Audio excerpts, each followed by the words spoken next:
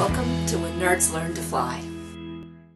I actually started this drawing on the world's highest railway. No, seriously, we were taking the rail from Lhasa, Tibet to Xi'an, China. It was an overnight train. We were in a a sleeper car, and we knew that we were going to be on the train for 20 plus hours altogether. So I brought along a photograph and started this drawing. It didn't get finished on the railway because honestly, the scenery was so beautiful that I didn't really do anything but watch the world go by, and every bit of that was worth it. But this wedding is coming up very quickly, so I need to get this portrait completed. That means sitting down and focusing on it, getting the shadowing right, which is more difficult than I'd like to admit because there are very subtle shadow changes in this photograph, making it very difficult to determine exactly where they are. Strong shadows are oftentimes a lot easier because you can distinctly see where one ends and another begins.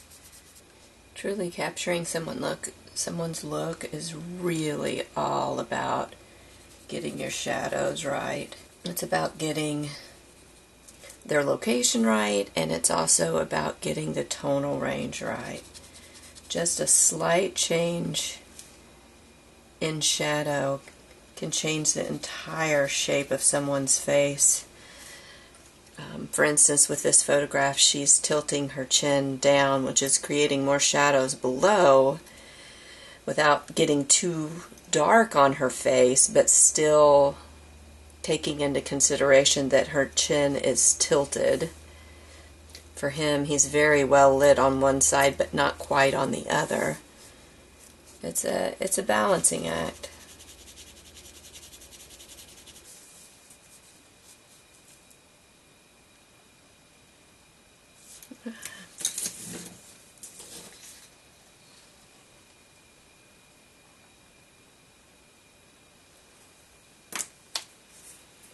Okay, I think it's time for me to give up on this.